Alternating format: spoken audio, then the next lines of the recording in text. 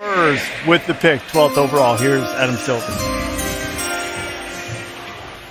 With the 12th pick in the 2021 NBA Draft, the San Antonio Spurs select Joshua Primo from Toronto and the University of Alabama.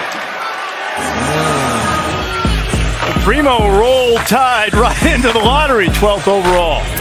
This is a surprise. I mean, Josh Primo is the youngest player in this draft, but he's a do it all guard that's got tremendous potential. He only averaged eight points and under four rebounds a game last year for the Crimson Tide, but he's got size and versatility on both ends. You know, he can be a three level scorer uh, in the NBA, he can dribble, pass, and defend.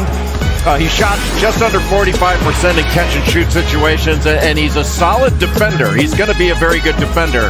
Uh, but boy, is he young. He's got a lot.